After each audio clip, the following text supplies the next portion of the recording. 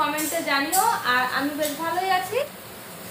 আর good morning বলছি এখন বাজে হচ্ছে এগারোটা এগারোটা পনেরো বাজে এখন। আর আমরা আজকে ঘুম থেকে অনেকটা লেট করে উঠেছি প্রায় নটার সময় উঠেছি ঘুম থেকে কারণ ঘুমিয়েছি অনেক রাতে। আর উঠে একটু দিদির সঙ্গে গল্প করলাম। কি এটা? বুলেট প্রুফ আর তোমাদেরকে তো দে- তোমাদেরকে তো দেখিয়েছি যে দিদির গাছে, দিদির গার্ডেনে কি সুন্দর ফুল। দেখলে মন ভরে যায়, এত সুন্দর সুন্দর ফুল তো তোমরা তো দেখেছ। আর আমি যতদিন থাকব দিদির বাড়ি, তোমাদেরকে প্রত্যেক দিন দিদির গাছের ফুলগুলো আমি দেখাবো। ভীষণ সুন্দর সুন্দর ফুল ফোটে। আর আর দিদির মন খারাপ, দিদির একটা ফুল গাছ, নতুন গাছে একটা ফুল হয়েছিল। সে ফুলটা নাকি কে নিয়ে গেছে, সেই জন্য দিদির মন খারাপ অনেক। প্রথম ফার্স্ট ফুল হয়েছিল একটা। আর এখনও স্নান করিনি কিন্তু স্নান করব। Me also. মি অলসো এখনও কাজ বাজ দিদির সঙ্গে একটু হেল্প করে দিলাম আর স্নান করে আমি পুজো দেবো। দিদি যেহেতু স্নান করতে লেট হয় সেজন্য আমি পুজো দিয়ে দেবো। ও স্নান করলে ঠান্ডা লেগে যাবে সকাল সকাল। তো আমি স্নান করে পুজো দেবো, এখনও করিনি। আর ব্রেকফাস্ট বানাচ্ছে দিদি, এখন বলতে পারছি না। ব্রেকফাস্ট করে স্নান করব, না স্নান করে পুজো দিয়ে তারপরে ব্রেকফাস্ট করব। আর দিদি বানাচ্ছে এখন আলু পরোটা বানাচ্ছে। কখনো খাওয়া হয়নি আমাদের। চলো তোমাদের সঙ্গে আবার পরে দেখা হচ্ছে, টিফিন যখন, তখন দেখা হচ্ছে তোমাদের সঙ্গে। আর এখানে দেখো দিদি আলু পরোটা বানাতে শুরুও করে দিয়েছে। আর সবগুলো পুর একসঙ্গে ভরে নিচ্ছে, পরে সব বেলে নেবে। তো একটা একটা করে সবই করে নিয়েছে, আমি ওকে কিছু হেল্প করিনি। আর দেখো, আমি আয়ুষের প্যান্ট ধুতে যেয়ে ওর প্যান্টের মধ্যে একশো টাকা পেয়েছি, তাই দেখাচ্ছিলাম ওকে যে এত বড় হয়ে গেছে, ওর প্যান্টে টাকা থাকে। আর দিদির বানানো হয়ে গিয়েছে, আমি দুটো খেয়েছিলাম, একটা খাইনি কিন্তু। তো দিদি গরম গরম বানিয়ে বানিয়ে দিচ্ছিল, আর আমি আর আয়ুষ খাচ্ছিলাম। আর আরিয়ানের তো খাওয়া হয়ে গিয়েছে দিদি একটু পরে খেয়েছে আমাদেরকে দিয়ে। তো খুব টেস্টি হয়েছিল দিদির হাতের আলু পরোটা, অনেক সুন্দর হয়। দিদি এমনিই খেয়ে নেয়, কিন্তু আমার একটু সস দিয়ে খেতে বেশি ভালো লাগে। আর দেখো, এই দুইটা কী করছে দেখো। ওইটার উপরে দাঁড়ায় না, তাহলে তো পারবা। এখানে দাঁড়াও, ওর উপরে উঁচু হয়ে দাঁড়াও। হ্যাঁ। আর এখন কিন্তু ভালো জোরেই বৃষ্টি পড়ছে। আমি যদি ফুল তুলতে যাই একদম ভিজে যাব বৃষ্টিতে।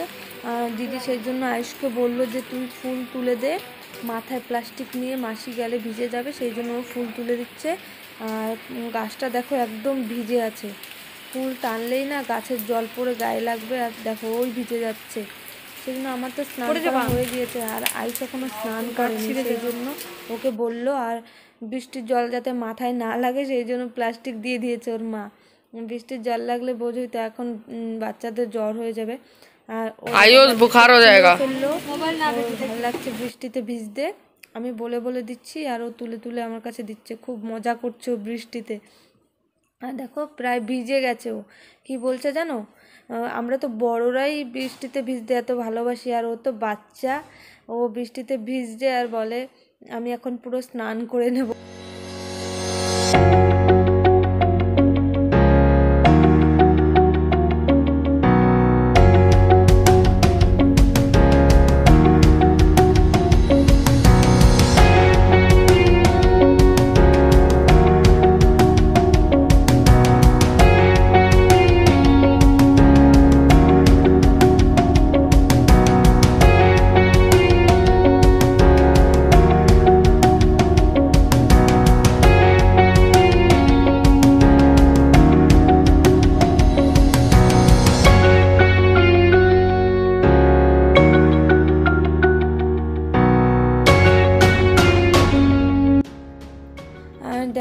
সকাল থেকে বৃষ্টি একভাবে পড়েই যাচ্ছে, বৃষ্টি থামার নামই নিচ্ছে না।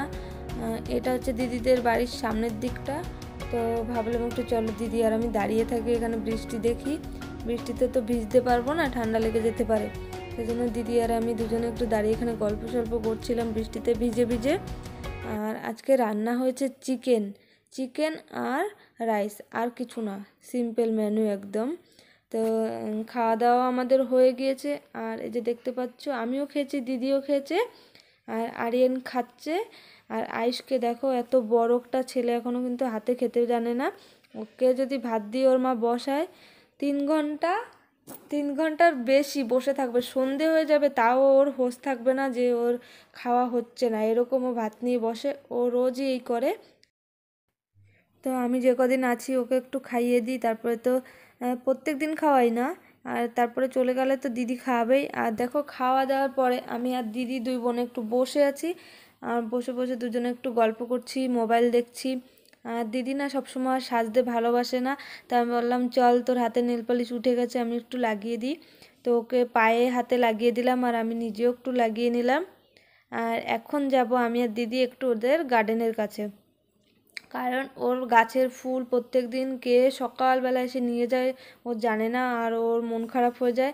সেই জন্য আজকে দিদি আর আমি গিয়েছিলাম কড়ি ছিঁড়তে। কড়ি ছিঁড়ে ঘরে রেখে দেবো। ফুল হলে পুজো দিতে পারব সেই জন্য। সব ফুল নেয় না, এই গাছে লাল লাল ফুল, জবা ফুল ফোটে, ওগুলো নিয়ে যায়। তো দেখো ওর গার্ডেনটা এরকম, অনেক রকম ফুল আছে ওর গার্ডেনে। আর এখন সন্ধেবেলা হবে চিকেন পকোড়া। তা দিদি দেখো চিকেন পকোড়া বানাচ্ছে, আগেই ম্যারিনেট করে রেখে দিয়েছিল, আর এখন চিকেন পকোড়া হচ্ছে।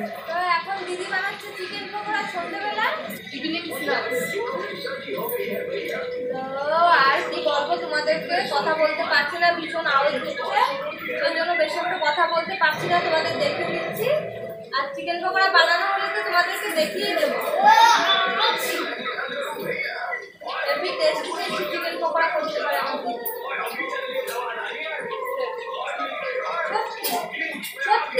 আমি আমার চিকেন পকোড়া কখনো বানাতে পারতাম না। দিদির কাছ দিয়ে শিখেছি চিকেন পকোড়া। ওর কাছ থেকে অনেক রান্না বান্না আমি ভীষণ টেস্টি টেস্টি রান্না করতে পারে। তোমাদেরকে দেখে দেবো চিকেন পকোড়া এত সুন্দর করবে। করার পরে দেখাচ্ছি। তোমরা এই দেখো চিকেন পকোড়া আমি খাচ্ছি। তোমরা কে কে চলে আসো। কিছু হবে কিছু না। তোমরা যদি কে কে খাবা চলে আসো। যে সন্ধ্যাবেলা এখন চিকেন পকোড়া খাচ্ছি, দিদি করেছে। আর ভীষণই ক্রিস্পি হয়েছে খুব টেস্টি হয়েছে।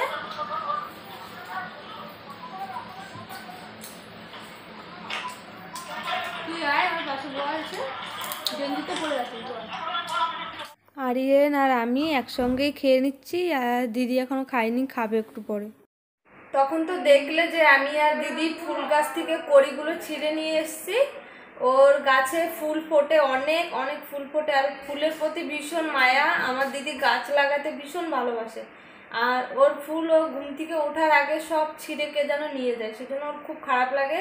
তো আমাকে বলল যে, চল ফুলের কড়িগুলো ছিঁড়ে নিয়ে আসি, ওগুলো এনে জলের মধ্যে রাখব। তাহলে সকালে নাকি ফুল ফুটে যাবে। আমি জানি না, আগে কখনো এরকম রাখিনি। তো আমি জল দিয়ে রেখে দিয়েছি, দেখি ফোটে কিনা সকালবেলা। আর খুব সুন্দর সুন্দর ফুল হয় আর ওর ফুল নিয়ে যায় দেখে খুব মন খারাপ করে থাকে। প্রত্যেক দিন সকালবেলা বলে ফুল নিয়ে গেছে, ভালো লাগে না। ওই নিয়ে টেনশন করতে থাকে। তো চলো দেখাই ফুলগুলো। কড়িগুলো আমি ছিঁড়ে নিয়ে এসে জলে রেখে দিয়েছি। দিদি বলেছে যে, এইভাবে রাখতে আমি রেখে দিয়েছি। ফুল ফুটলে কালকে পুজো দেবো। আর গাছে তো এমনি অনেক ফুল হয়। আর কড়িগুলোকে দেখো জলের মধ্যে আমি চুবিয়ে রেখেছি। সকালবেলায় ফুলগুলো ফুটে যাবে, দিদি বলল এইভাবে রাখতে। আর রাতে আমাদের হবে হচ্ছে রুটি আর সকালে চিকেন রান্না করেছে সেই চিকেন। চিকেন আর রুটি হবে রাতে। আর দিদি খাচ্ছে ভাত। ও রুটি খেতে ভালোবাসে না। আর ভাতে দেখো জল ঢেলে খাচ্ছে ও। এখন বাজে হচ্ছে রাত সাড়ে দশটার বেশি হয়ে গেছে। আর আমি ঘুমাতে চলে এসেছি এখনে। ঘুমাবো, খেয়ে দিয়ে চলে এসেছি। আর রাতে খেয়েছি হচ্ছে রুটি খেয়েছি, দিদি খেয়েছে ভাত। আর ও তো চিকেন পকোড়া খেয়েছে, কিছু খাইনি আর বড়বাবু আরিয়ান খেয়েছে ও ভাত খেয়েছে। তো খেয়ে দিয়ে এখন শুতে চলে এসেছি। শোবো না এখন একটু গল্প করব মোবাইল দেখব তারপর ঘুমাবো। আর আমি ভেবেছি দিদি বাড়ি আসছি অনেক জায়গায় মানে দিদিদের সোসাইটিতে ঘুরবো ছাদে যাব তোমাদের সঙ্গে ভিডিও করব। কিন্তু হলো না বৃষ্টি পড়ছে ভীষণ প্রত্যেক দিনই মেঘ করে আসছে বৃষ্টি পড়ছে সেই জন্য আর বাইরে যেতে ইচ্ছা করে না। আর এমনিও দিদির সঙ্গে কথা বলতে বলতেই সন্ধে হয়ে যায়। আবার গল্প করতে করতে রাত হয়ে যায়। এই ঘরের মধ্যেই সব সময় কেটে যাচ্ছে আর বাইরে যেতে ইচ্ছা করে না। ও তোমাকে রোজ বলে বাইরে নিয়ে যাবে। মাসি চলো আমরা তো রোজ খেলতে যাই যখন যখন বর্ষা হয় না শুধু তখন তখন। হ্যাঁ আর ও যখন খেলতে যায় তখন আমি দিদির সঙ্গে গল্প করি নালে শুয়ে থাকি। যাওয়া হয় না। ও সব দিন আমাকে বিকালবেলা রোজ রোজ বলে যে মাসি চলো তোমার সঙ্গে ঘুরে তোমাকে ঘুরাই নিয়ে আসব এখানে যাব ওখানে যাব। যাওয়া হয় না। তো গেলে তো তোমাদের সঙ্গে শেয়ার করবোই। কদিন আছি, এর মধ্যে যদি বাইরে যাই তোমাদের সঙ্গে সেগুলো শেয়ার করব। আর ও হচ্ছে আমার বড় দিদি, তোমাদের বলে দিই। ও আমার বড় দিদি। আরও সব দিদিদের সঙ্গে তোমাদের অন্য দিন দেখা করাবো। এখন দেখা করানো সম্ভব না, কারণ সব দিদিরাই উড়িষ্যায় আছে। সব দিদিরাই উড়িষ্যায় থাকে, আর আমার বড়দি শুধু কলকাতা থাকে, আর আমি কলকাতা থাকি। দুই বোনই কলকাতা, আর বাকি সব উড়িষ্যায় থাকে, সেই জন্য কোথাও যাওয়া হয় না। এই দিদির বাড়িই আমি আসি তাও প্রায় বছরে দুবার আসি এরকমই। আর কোথাও যাওয়া হয় না আমার। তো চলো অনেক বক বক করেছি আর এই কদিন না আমি বাড়িতে থাকলে তাও ভিডিও বানাতে মন চায়। ভিডিও করি যা করি তোমাদের সঙ্গে শেয়ার করি। আর দিদি বাড়ি এসে একদম কুড়েমি মনে হচ্ছে নিজের ভিডিও করতে একদমই ইচ্ছা করে না। খালি মনে হয় বসে থাকি দিদির সঙ্গে গল্প করি ভিডিও করতে ভালো লাগে না। তবুও করি একটু আধে উম, জানি অনেক ভিডিওগুলো খুব ছোট ছোট হয়ে যাচ্ছে দিদি বাড়ি আসার পর থেকে। তবু কিছু করার নেই। তাও তোমাদের সঙ্গে শেয়ার করব যতটুকু করব। আর এখন তো আমরা শুয়ে পড়ব। শোবো না। শোবো ঘুমাবো না একটু বাদে ঘুমাবো। কোনো কিছু বলার আছে? বলার থাকলে বলে দাও। বলার নেই? নাই কিছু। তো এই ঘরে শোবো আমি দিদি আর আয়ুষ ঘুমাবো। আর একটা রুমে আরিয়ান একা ঘুমাচ্ছে। আর জিজু তো বাড়িতে নেই বলেছি কালকে আসবে। কালকে হয়তো আসতে পারে জিজু। আর আসলে তখন আবার জায়গা চেঞ্জ হয়ে যাবে সবার। আমি তা এখানে মোবাইল দেখছে দিদি। চলো আজকের মতো ভিডিওটি আমি এখানেই শেষ করছি। আবার একটু নতুন ভিডিও নিয়ে তোমাদের সঙ্গে দেখা হবে।